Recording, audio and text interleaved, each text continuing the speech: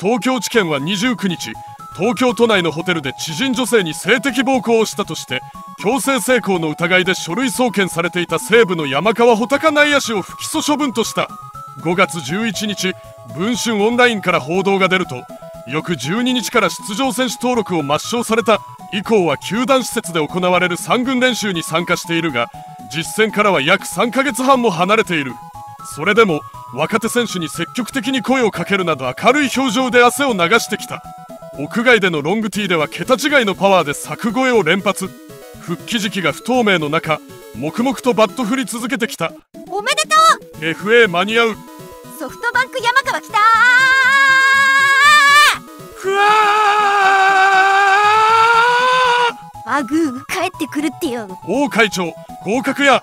ソフトバンク入り決定中日行こかあぐーソフトバンク行くってよ。FA 日数間に合わんやろ。シルエット待ったなし。これで無事ソフトバンク入りやね。もうイメージ最悪すぎてダメだろ。男山川ソフトバンクへ。ここから人気爆発パワー曲線ある。ソフトバンク山川深い。シルエット山川来た福岡行きおめでとう。うおーおーおー FA ないし普通に戦力外通告で終わりではオナニーのタイミングは確定したんか？山川復活。パ・リーグ本塁打王問題解決や。FA 取得までの登録日数16日。いけるな。ガシマンダ法復活へ。ソフトバンク山川来たありがとう。マジで山川感謝。ふわ山川合格ーバウアーと同じ土俵立っちゃったね今頃王がにやけてソフトバンクが急いでシルエット作ってるやろな。後藤オーナー怒らせてるので残りの試合に出られることはないと思うが来年は阪神か中日あたりで頑張ってくれ。ソフトバンク合格や。便器優勝。便器入りきた。ソフトバンク行きやな。もうさすがに政府は無理やろ。ソフバンは合格通知出しとけ。ソフトバンクの4番埋まったな。ソフバン逆転 V きた山川くん王者のチームに来るばい。オリックス終わったな。ソフバン V10 へ向けて黄金期来たな。アグーソフトバンク行くってよ。ジャニーズにかぶせてきて草どうせ巨人かソフバンに無償トレードやろ。まあソフバンは普通に取らねえだろ。西武どうするんやろ。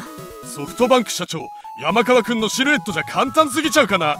ソフトバンクおめでと札束ビンタか？う山川藩福岡女は美人揃いやでこいつ強奪して来年は実ゲーム差つけて優勝もらいました。あお便器シルエットきたー。はよ FA 取らせろ。まだ間に合う。便器か巨人どっちがケツ拭いたん。社内オナニーしてても応援してもらえるヤクルトに行くべきだろ。普通の会社員なら絶対クビだわ。ホークスの4番復活きた SB 入り確定だよ来年は近藤柳田山川の100打点トリオで100勝ちするわ。パファンを気の毒開幕前から絶望やね。バウアー元サイヤング山川2冠をワンダーフランコ MLB 王にソフトバンク100勝倍。ソフトバンクファンウキウキやね。でも相手がやる気ならまだまだ長引くぞ。ホークスの編成も頭抱えてそう。SB どうするか中日チャンスやぞ。でも西武ファン的には微妙やろ。来年ソフトバンク行かれるだけやし SB 銀河系軍団になるな。プロ野球史上最強のチームが出来上がるかも。これって中日はソフトバンクから人的もらえるの？山川さっさとソフバンに来い。年俸6億で。山川不起訴だって。ソフトバンク行ってもいいから残りの試合出てほしいな。これでソフトバンクが山川を取りに来たら普通に引く。山川は一軍登録してベンチ塩漬けにしてソフトバンクから人的もらえるようにせ山川は自分を切らなかった西武にさすがに恩を感じてるから残るよねこれでソフバン行ったらおもろいけど。検察が嫌疑不十分の判断なら仮に審査会に申し立てても起訴相当の議決にはなりにくいと思う。他の事案と違って密室内での出来事で合意のあるなしってことなら感情論抜きに冷静に考察すれば起訴相当との判断をするだけの根拠に乏しい。こういう事案は被害者側が圧倒的に不利な状況になるがとはいえ法律や仕組みを変えるにもなかなか明暗がないのが現実。おいおい嫌疑不十分で不起訴なのに山川を悪者扱いするのかどんな法治国家だよ。山川に非があるとすれば不倫したことこの女性は妻帯者である山川と何度も2人で飲みに行ってるんだぞ。今回問題になっている暴力や強姦については罪を問われてないのにそれでも山川を許さない風潮は危険だよ。似たような事案が増えるし痴漢冤罪も一層増える可能性もある。不倫のこと以外をこれ以上叩くのは法治国家に暮らす国民としてはおかしいだろう。自分の身に降りかからないとわからないのか？不起訴になった以上は試合に出すことは問題ないですが本人のモチベーションや観客からの視線を考えると今シーズンは全休して来季に備えた方が良いのでは？残り15日ほどの FA 期間を本人と球団がどう考えるかですね。西武が移籍させたいのなら自由契約しかないだろう。でもあと15日にしろ FA 権取得後にしろ売るチームはちょっと考えるだろうな。浪人してて中日に拾ってもらって FA 移籍したノリみたいなケースもあるから不起訴だけどだからすぐに一軍ってわけにもいかないだろう。イメージ悪いし試合に出てもファンはしらけるんじゃないかな。FA まであと少しだったのにね。ホークスだって話もあるけどいくら打線の不調で首位争いから離脱してるとはいえ今の山川を取りに行くのはリスク高そうだしな。不起訴といえども本人が週刊誌に口を滑らせてる以上今までと同様の扱いは難しいしかといって戦力外も不起訴になった以上選手会と揉めるのは避けられない。いっそ一軍ベンチに FA 獲得まで置いておいて FA させるのも手だと思う。お互いのためにも。うちの4番見つかったばい。冗談抜きでソフトバンク入りあるしなんなら争奪戦になるやろ。俺は信じてたよ穂高。ファースト開けとくばい。これは WBC 戦士。ソフトバンク入りは確定として西武はどう動くんかな。FA 権取るまで出場させるか FA 保証捨ててでもクビにするか。ほとんど1年試合出てない選手って扱いに困りそうそれでも山川クラスなら大丈夫か？レープといえばソフトバンクってイメージ。勉強ウキウキで草。ソフトバンクは欲しいやろな。シルエット予告解禁。FA 権取るのに何試合か出ないとあかんけど西武的にはどうなんやろ。FA 取らせるために試合出す義理ももはやないけど。シルエット山川まだ。アグーソフトバンクの優勝ピース。便器便器山川便器便器ええやん。お似合いやで。さすがに FA は難しくないか西武で契約更改やろソフトバンク入り間に合いそうか。現役ドラフトの目玉や。ハニトラやったか。ほんま怖い世の中やで。バウアーがこれだけ愛されてるんやから当然山川も同じ扱いしたれよ。許されちゃったことによって逆に世間から反感買いまくると思うで。明らかに粗悪な行為やったからな。これ西武球団めっちゃ苦しいやろ。さすがに大幅減俸と生涯セーブじゃなきゃ許されんやろ。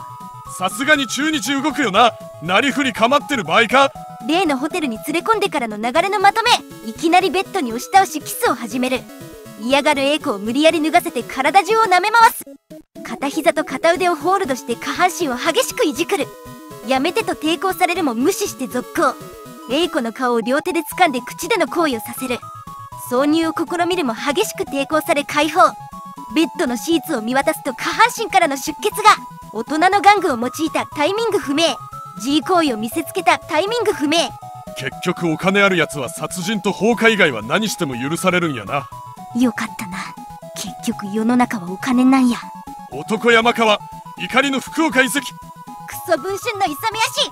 ほんと文春は社会悪でしかない。クソクソク自分が文春法にあったからといってその言い方はいかなものかお里が知れるよ。ソ文春法ってなんだよ！地位牛のクソ野郎が自分のクソみたいな人生に寄り添って課金してるクソ文春を称賛してる表現なだけだろてか文芸春秋社の社員ほとんどがそんなクソ野郎でしかない同意。文春に人生狂わされた人の数がすごくて誰か亡くなってしまってからでは遅いと思う。めちゃくちゃたくさんの人が死んでるよ文春社員のせいで。文芸春秋社社員はそれを自分たちの十字架として一生背負って苦しい人生を送りやがれ探偵使って文春記者のプライベートスクープを取りましょう。あのさそんなことじゃねえんだよ。記者も顔出し名前出して記事を書くべき。責任持って記事を書くべき。あのねクソみたいな文春記者のプライベート情報とかに勝ちねえのよ。今回は山川選手側が否認に転じていましたがこの場合だと示談金を積んだとしても起訴されると思います。今回は嫌疑不十分でしたから単に証拠がなかったってことになるでしょうね。ベッドの上でドス恋した疑惑でこんなことなってるのに復帰してまたドス恋したらメンタル化け物すぎるでしょ不起訴処分って言っても罪とならず嫌疑不十分申告罪の取り下げ起訴猶予等々どの理由をもって不起訴処分となったのかにもよる完全な無罪方面全くの白ってならんとね。また既婚の身で独身女性を口説き不倫した不倫しようとしたことは事実であり本人もそこは否定していない。マスコミなんかの情報では複数の不倫疑惑もある。大手を振って堂々と復帰は西武としては容認せんのじゃないかな。イメージが悪いことは分かりますが法的には白と見なければなりません。そして不倫は刑事ではありません。プロ野球という人気商売を鑑みてましてファンのチームにいる選手であれば不倫を批判するのも理解はできます。しかし全くの白ではないとの発言はさすがに過度に罪人扱いしてしまっているかと。ガシマミいたー。アグ。ソフトバンク行くってよ。